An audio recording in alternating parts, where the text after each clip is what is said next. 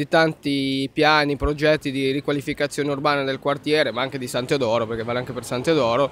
Di concreto si è visto poco, adesso c'è un nuovo bando sulle periferie che speriamo che possa non essere una scatola vuota, ma possa realmente cambiare eh, la vivibilità di questo quartiere da, dai progetti di, di, sicurezza, dai progetti di convivenza con i circoli, dai, pro, dai, progetti di convivenza anche col centro sociale Zappata che è una ferita aperta all'interno del, del quartiere, ahimè 5 anni non si è visto niente di concreto. Tante promesse anche da parte del sindaco Doria hanno mantenuto soprattutto il sindaco Doria delle colpe su questa gestione qua perché eh, San Pier d'Arena e San Teodoro nel suo programma elettorale erano il punto di partenza di, un, di una riqualificazione cittadina che oggettivamente non c'è stata. È questa la denuncia del centrodestra contro l'attuale amministrazione comunale. Il quartiere di San Pier d'Arena, nonostante le tante promesse ai cittadini, deve fare conti con numerosi problemi. La denuncia arriva da Piazza Masnata, una delle zone ritenute più critiche, in cui gli abitanti lamentano schiamazzi e soprattutto malavita durante le ore della notte. L'attacco è lanciato soprattutto nei confronti del sindaco, che aveva individuato in San Pier d'Arena il primo quartiere soggetto a una pesante riqualificazione.